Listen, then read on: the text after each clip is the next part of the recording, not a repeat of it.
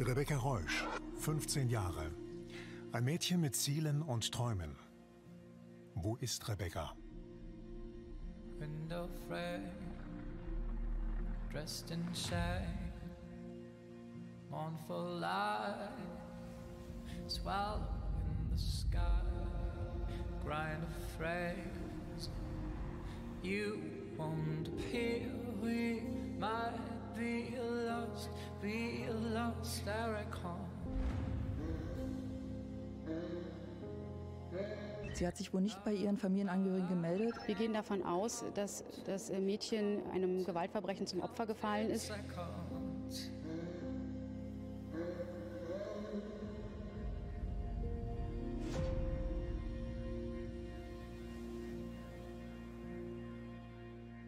Nicht zu wissen, was passiert ist, das ist das Schlimmste.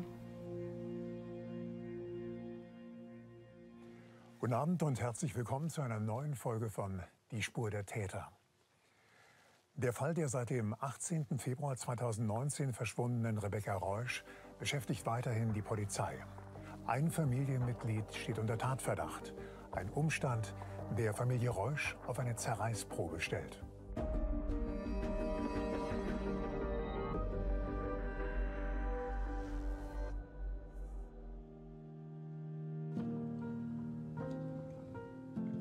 Ist im besten Teenie-Alter. Sie liebt es, Selfies zu machen, Fotos, Videos, in denen sie im Mittelpunkt steht. Ein typisches Kind der Generation Z, die ihre digitalen Eigenkreationen über die sozialen Netzwerke verbreitet. Und für die Fotomodell ein Beruf ist, wie es für ihre Oma der Beruf der Verkäuferin war.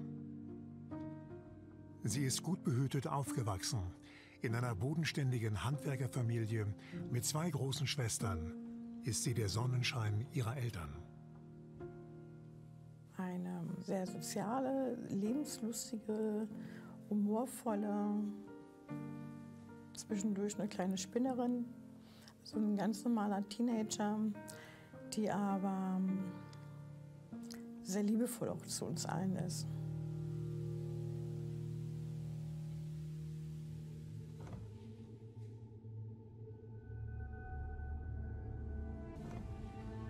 Der 17. Februar 2019 ändert das harmonische Familienleben von Grund auf.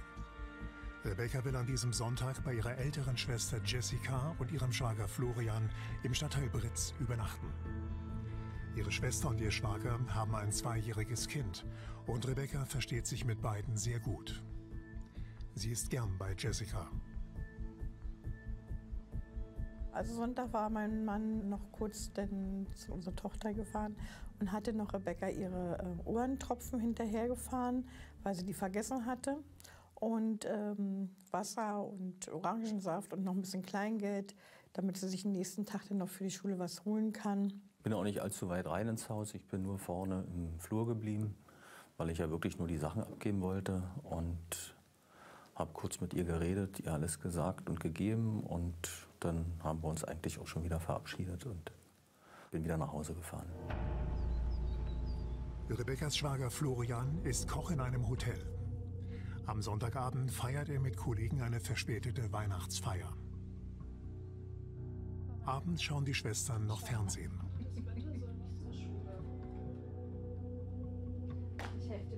Gegen 23 Uhr geht es für Rebecca dann ins Bett. Rebecca schläft wie immer auf der Couch im Wohnzimmer des Einfamilienhauses in Bretz.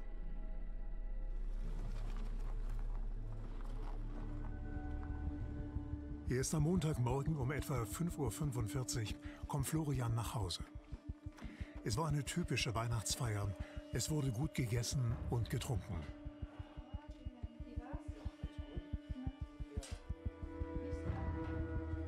Aber Florian kann nicht gleich einschlafen.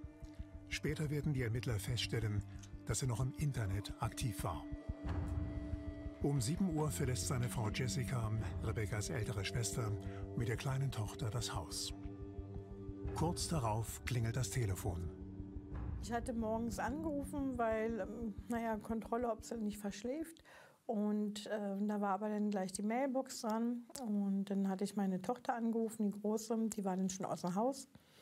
Dann habe ich gefragt, sag mal, hat sich denn Becky schon fertig gemacht? Meinte sie, ach Mama, weißt du noch nicht, die hat äh, einen Block später. Also sie hat dann erst 10 vor 10 Unterricht, weil Englisch fällt aus.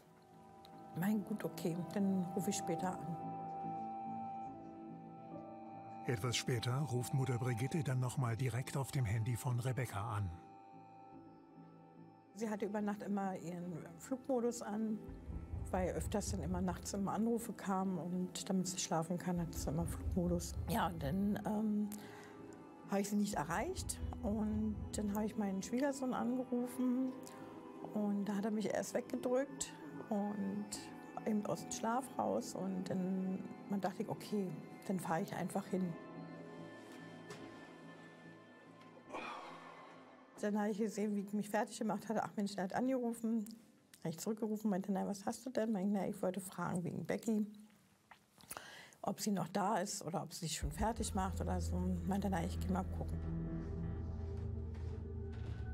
Ist er die Treppe runtergegangen, was man auch gehört hat und hat die Tür aufgemacht. Meinte, du, hier ist gar keiner, ist alles dunkel und die ist gar nicht mehr da.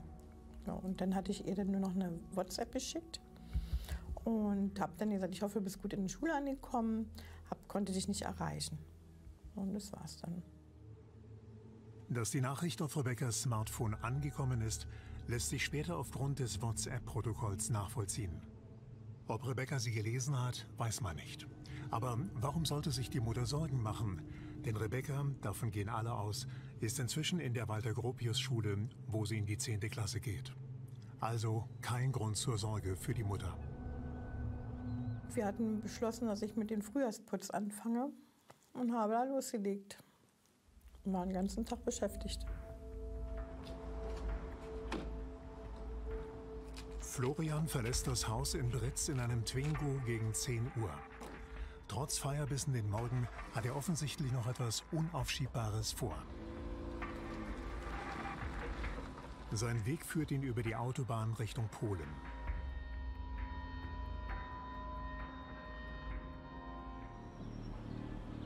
Eigentlich wollte Rebecca am Nachmittag wieder bei ihrer großen Schwester sein. Meine Tochter hat mich dann angerufen, die Große, und hat gesagt, ob äh, Rebecca nach Hause gekommen ist, weil sie wartet hier und eigentlich hätte sie, wäre sie auch gerne noch im Britzer Garten, weil noch so schönes Wetter ist und ähm, jetzt wartet sie und sie kommt nicht. Und dann habe ich gesagt, naja, die hat doch bis 16.05 Uhr Schluss. Meinst du, nein, heute bis 15.20 Uhr. Und sie wollte um 16 Uhr bei mir sein. Und dann meinte ich, du, die hat sich bestimmt verquatscht, die kommt bestimmt gleich. Aber dann eine halbe Stunde später hat sie wieder angerufen, meinte Mama, die ist immer noch nicht da. Und dann gesagt, ja, und das Handy hat sie auch immer noch nicht an. Und dann hatte ich dann den ähm, Lehrer angeschrieben, E-Mail, dann hat er auch relativ schnell angerufen. Und ähm, dann hat er gesagt, Rebecca war gar nicht in der Schule. Und da war für mich dann klar, da ist was passiert. Was ist an diesem Morgen mit Rebecca passiert? Im ersten Moment geht einer Mutter vieles durch den Kopf. Sie wurde verschleppt. Sie ist zu einer geheimen Fotosession unterwegs. Sie trifft einen neuen Freund, von dem die Eltern nichts wissen. Die Mutter ist ratlos. Die Polizei wird verständigt, hält sich aber zurück. Der Profiler und Polizeipsychologe Adolf Gallwitz ist auf den Spur verschwinden und analysiert mit uns den Fall. Wenn Rebecca ein Kind gewesen wäre, also unter 14 Jahre alt gewesen wäre, dann wären die Maßnahmen unmittelbar nach Verständigung der Polizei angelaufen, weil Kinder bei uns in Deutschland immer als sich in einer Notlage eingestuft werden, wenn sie nicht mehr im Elternhaus sind. Dadurch, dass Rebecca aber bereits eine Jugendliche, kein Kind mehr war, ist hier eine Wartezeit von 24 Stunden und es läuft ganz anders an, weil man bei Jugendlichen und später dann auch bei Erwachsenen so viele Rückkehrer hat nach wenigen Tagen, dass man nicht von vornherein gleich voll durchstarten kann. Die Eltern können also nur abwarten, die Hoffnung haben, dass ihre sonst so zuverlässige Tochter in diesem Fall einen Ausrutscher hat. Aber gegen die dunklen Gedanken hilft nicht viel. Für mich war der nächste Tag, ich war kein Mensch. Ich konnte nicht denken, mein Haus wurde belagert. Alle sind gekommen, wollten natürlich irgendwie nur Gutes, aber ähm, für uns war das, äh, also an den Tag konnte ich überhaupt nicht denken.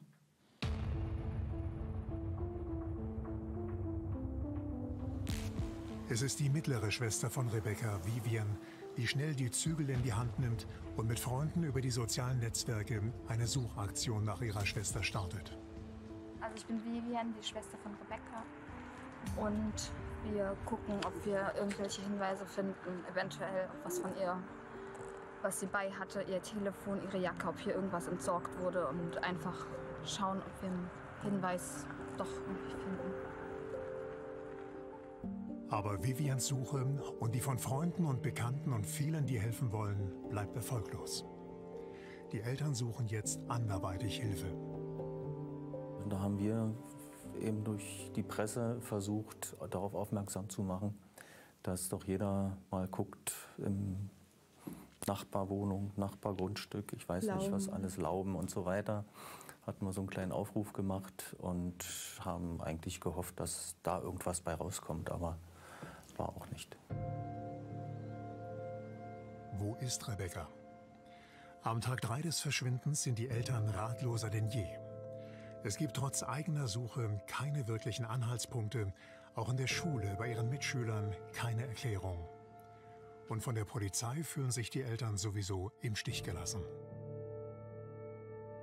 Ich habe am Mittwoch den einen, den man uns zugeteilt hat, angerufen und da meint er, wissen Sie, wie viel Arbeit ich hier auf dem Schreibtisch habe? Ich habe hier Berge und ich kann Ihren Fall jetzt nicht gerade bearbeiten. Und es gibt noch andere Fälle, die wichtiger sind. Und äh, da müssen Sie sich beim Polizeipräsidenten beschweren.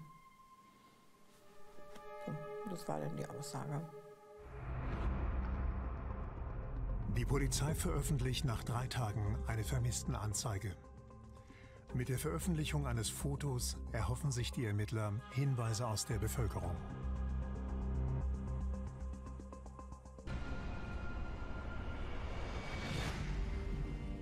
Der Profiler Adolf Gallwitz sondiert die Wohnsiedlung, in der das Haus von Rebekkas Schwester steht. Es gibt eine Reihe von Tatsachen und Vermutungen, was sich am Morgen des 18. Februar zugetragen haben könnte. Rebecca hat Sneakers und einen Rap Monster Hoodie angezogen und einen Vans Rucksack übergestreift. Auch eine rote Fließdecke hat sie mitgenommen. Vorausgesetzt, sie hat das Haus ihrer Schwester lebend verlassen.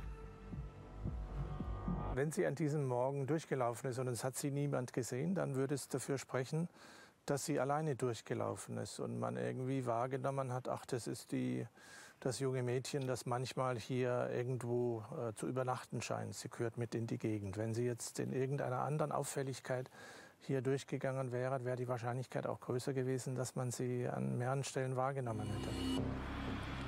Aber welchen Weg könnte Rebecca gegangen sein? Die nächstgelegene Bushaltestelle, die für Rebecca auf dem Weg zur Schule in Frage kommt, ist etwa 700 Meter vom Haus ihrer Schwester entfernt. Wenn sie aber überhaupt mit dem Bus zur Schule gefahren ist, Jedenfalls wollen sie unterschiedliche Menschen zu unterschiedlichen Zeiten in unterschiedlichen Bussen gesehen haben. Eine Zeugin hat sich relativ schnell bei uns gemeldet über unser Bürotelefon. Und die Dame hatte eben ähm, gesagt, dass sie so groß und ihre Plüschjacke da eben anhatte. Und sie noch dann dachte, ach Mensch, die würde meine Tochter auch gut gefallen. Und hatte eben den Rucksack beschrieben und in der rosanen Tasche war eben die Decke reingelegt. Ja, und hat sie gesagt, die ist in, sie glaubt, zwei Stationen. Und die dritte ist sie eigentlich dann schon ausgestiegen und hatte sie aber eigentlich nicht mehr gesehen. Ist Rebecca nun wirklich Bus gefahren? Überwachungskameras der betreffenden Busse könnten Klarheit bringen, aber die Auswertung hat nichts ergeben. Bleiben die Zeugen und die sind hier ein Problem. Ich sehe immer eine grundsätzliche Problematik mit Augenzeugen. Ein Fall, der für einige Wochen die Menschen sehr bewegt, ähm, wird immer ein bisschen so verortet, äh, wie man es gerne hätte. Man macht sich da ein Gesamtbild, was im Einzelpunkt nicht stimmen muss. Das ist möglich, Es ist aber auch möglich, dass es überhaupt nicht stimmt.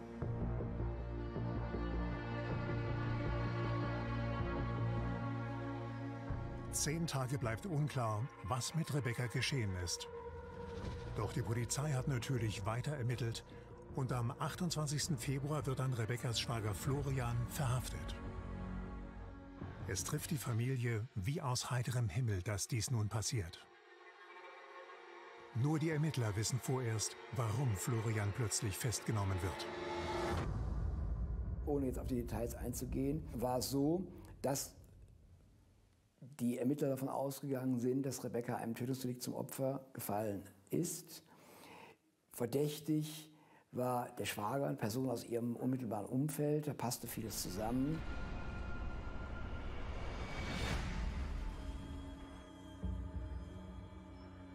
Was war passiert? Wovon gehen die Ermittler aus? Die Theorie ist einfach. Der Schwager war mit dem Mädchen allein zu Hause. Er hat sie getötet und Rebecca hat das Haus nicht lebend verlassen. Das Mädchen und ihre Sachen hat er später entsorgt. Die Familie ist über die Verhaftung entsetzt. Dass der Schwager der Täter sein könnte, unvorstellbar. Man nur noch Klack, Klack gehört. Meine Tochter ist zusammengebrochen. Ich habe sie angeschrieben, dass sie einen riesengroßen Fehler machen. Er ist acht Jahre in unserer Familie. Wir sind sehr eng. Er hat auch am Anfang gleich bei uns auch gewohnt. Ähm, ist wie eben Sohn, also mehr als nur ein Schwiegersohn. Also er ist sehr liebevoll, sehr ruhig, wie mein Mann, auch sehr fleißig, loyal. Ähm, und ein toller Papa, ein toller Ehemann. Bernd ist für ihn so der Vaterersatz, ne? den hat er nicht. Und da hat er eben auch zu Bernd eben auch noch ein anderes Verhältnis. Also, es ist ein sehr liebevolles Verhältnis. Die Kriminaltechnik untersucht das Haus jetzt vom Keller bis zum Dachboden, auf der Suche nach dem entscheidenden Beweis, der hier zu finden sein soll. Auch das Auto der Schwester bringt die Ermittler nicht ans Ziel. Es hat natürlich Spuren gegeben, die gesichert worden sind, die ausgewertet worden sind. Aber es ist nie eine, sage ich jetzt mal, Smoking Gun gefunden worden. Es sind auch keine Tatspuren gefunden worden in der Wohnung, die uns nun weitergebracht hätten. Eine Enttäuschung für die Ermittler, denn die Indizien gegen Florian scheinen schwer zu wiegen. Am Tag von Rebekkas Verschwinden wird der Twingo von Jessica und ihrem Mann Florian am Vormittag auf der A12 bei Storkow von einem automatischen Kennzeichenerfassungssystem registriert. Natürlich haben die Ermittler eine Vorstellung davon, was Florian hier wollte, zumal er am nächsten Tag nochmal dieselbe Strecke fährt. Natürlich spielten diese Fotos eine Rolle für die Hypothese, wo ist Rebecca geblieben, was ist mit ihr passiert. Er konnte das nicht plausibel erklären. Es gab äh, gewisse Erklärungsversuche, aber im Ergebnis will ich, auch dazu, will ich mich dazu auch nicht weiter äußern. Für die Polizei spricht alles dafür, dass sie einen Täter hat. Doch es fehlt der entscheidende Beweis. Also werden Rebekkas Eltern weiter bearbeitet.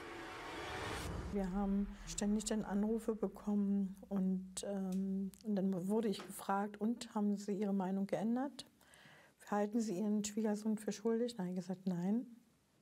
Sie haben immer noch keinen Beweis, trotz Spurensuche, Leichenhunde etc. kam ja nichts dabei heraus. Mike und zwei Bilder beweisen für mich nichts.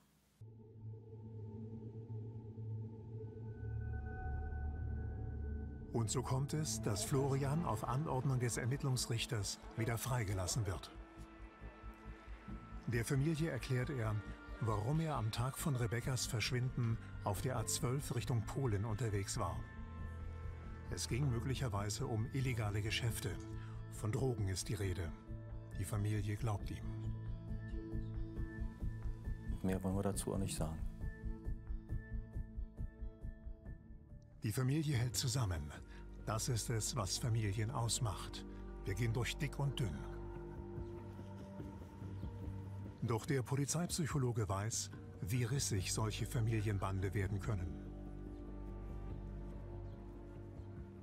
Denke, durch diese Information, vor allen Dingen der Familie gegenüber, was er in diesen zwei Fahrten äh, für Absichten hatte und was er gemacht hat, ist die Familie im ersten Moment zufrieden und äh, denkt, das ist eine plausible Erklärung, warum er es nicht gesagt hat.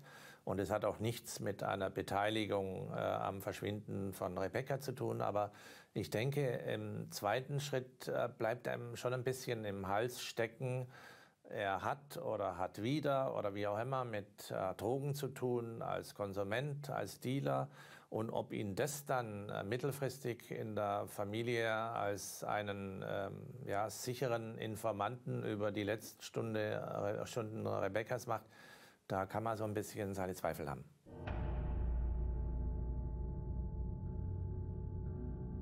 Zweifel bleiben auch bei den Ermittlern. Am 4. März wird der Schwager wieder verhaftet. Geräusch, Depot Berlin. Ja, Florian, Polizei. Würden Sie bitten mitzukommen? Muss unbedingt sein muss? Das muss sein. Okay. Ja, kommen Sie. Danke. Man muss nun davon ausgehen, dass den Ermittlern in den letzten 72 Stunden ein entscheidender Beweis gelungen ist.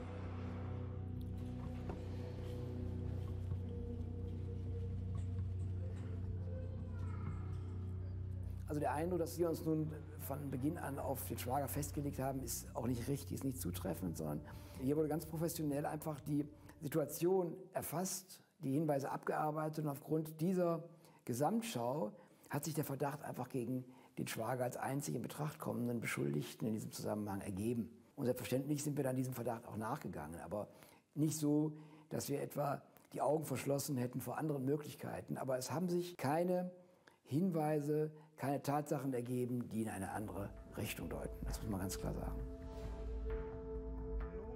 Die Ermittler versuchen jetzt alles, um den Sack zuzumachen, den Tatverdächtigen zu überführen.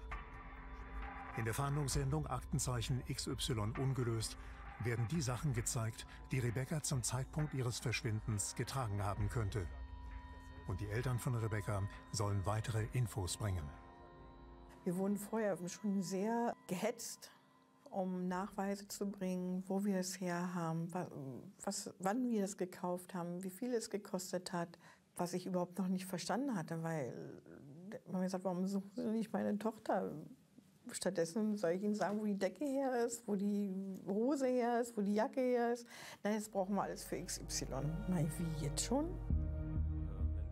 Prinzipiell ist die schnelle Fahndung nach einer Vermissten gut. In diesem Fall geht es aber wohl hauptsächlich um die Veröffentlichung eines Fotos des Mannes, den die Polizei für den Täter hält.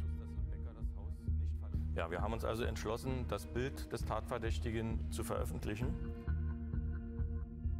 Sie haben es ja angedroht, ne? wenn er nicht redet, wird sein Bild freigegeben. Und ähm, also für mich also, sind Methoden fand es unmöglich. Es ist die Fahrt Richtung Polen am Tag des Verschwindens von Rebecca, welche die Ermittler nicht ruhen lässt. Der Grund dafür ist, dass der Schwager schweigt und die Autofahrt in das Bild des Abtransports einer Person, tot oder lebendig, passen könnte. Und das Gebiet um den Ort Storkow ist dem Schwager bekannt. Hier hat er Verwandtschaft. Und so beginnt am 7. März 2019 eine groß angelegte Suchaktion. Die Polizei durchkämmt mit einer Hundertschaft und Hunden ein Waldgebiet nahe dem Ort Kummersdorf-Storkow südlich von Berlin. Hat der tatverdächtige Schwager Rebecca hier irgendwo verschwinden lassen? Das ist die Aufgabe der Ermittler, alles zu tun, um das Schicksal von Rebecca aufzuklären. Und so auch hier, äh, Sie müssen sich vorstellen, es ist ein riesiges, eine, eine, eine, eine bundesweite mediale Berichterstattung über den Fall, hat also großes mediale, große mediale Aufmerksamkeit. Wir haben eine Vielzahl von Zeugenaussagen. Wir hatten Wahrsager, die sich bei uns gemeldet haben und Angaben machen wollten. Also äh, selbstverständlich müssen wir diesen Hinweisen nachgehen. Und aufgrund der Gesamtsituation, auch der, äh, Kammer, der Aufnahmen von der Autobahn, mussten wir den Hinweisen nachnehmen, den Verdacht nachgehen, dass Rebecca sich dort möglicherweise befinden könnte. Deshalb die äh, aufwendigen Suchmaßnahmen. Die Suche nach Rebecca geht auch in der darauffolgenden Woche weiter. In einem Waldstück bei Riblos werden Reifenspuren gesichert. Ohne Erfolg.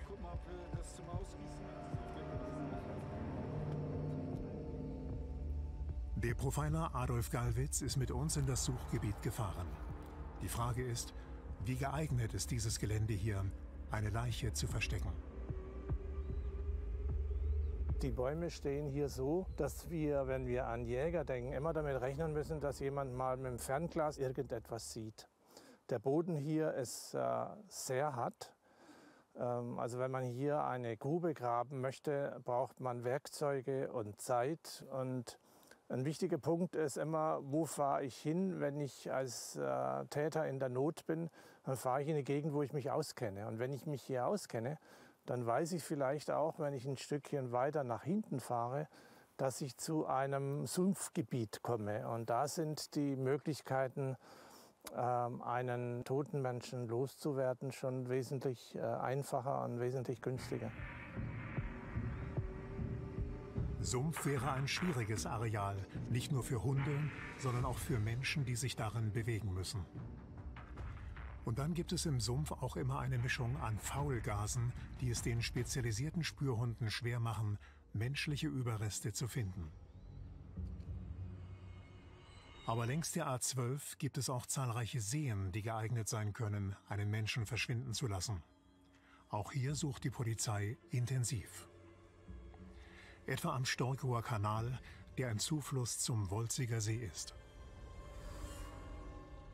Beim Verwesen menschlicher Überreste entstehen bestimmte Gase und auf diese Wahrnehmung dieser Moleküle können Hunde spezialisiert werden. Und deswegen gibt es Hunde, die ganz speziell äh, für den Einsatz vom Boot aus äh, auf dem Wasser ausgebildet werden. Doch ist es für einen Täter auch nicht ohne Risiko, eine Leiche hier verschwinden zu lassen. Es ist ein riesen Wasserbereich, der hier ist. Also man kann da nur ganz gezielt irgendwo gucken. Und Wasser ist eine heimtückische Sache. Also auch wenn man Menschen mit großem Gewicht beschwert, äh, gibt das Wasser diesen Leichnam irgendwann mal frei. Also insofern ist es immer nur eine Frage der Zeit, äh, wenn hier wirklich etwas im Zusammenhang mit dem Verschwinden passiert ist. Aber es bleibt dabei. Vorerst finden die Ermittler nichts keine lebende und auch keine tote Rebecca. Florian muss aus der Untersuchungshaft entlassen werden. Es ist ein schmaler Grat, wie mit der Existenz seines Tatverdächtigen umgegangen wird. Doch der Rechtsstaat fühlt sich im Recht, mit Florian genau so umzugehen. Das war rechtsstaatlich geboten, das hat auch keinen mehr überrascht. Das ist einfach so und das ist auch in Ordnung. Gott sei Dank ist das so. Wenn eben ein Verdacht besteht und dieser Verdacht sich nicht weiter erhärtet, dann reicht es eben nicht.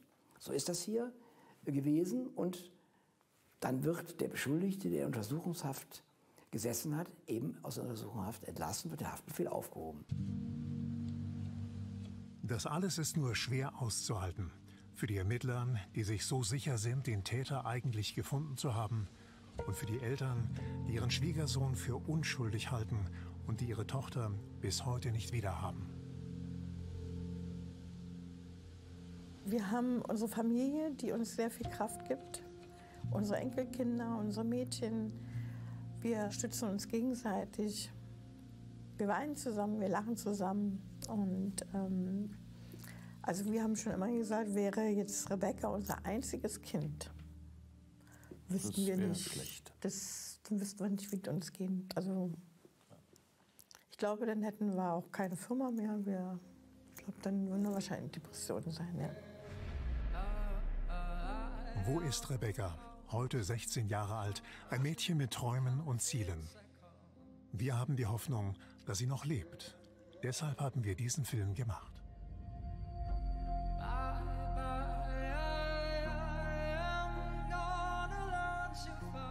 Das war die Spur der Täter für diesmal. Ihnen noch einen guten Abend und auf Wiedersehen.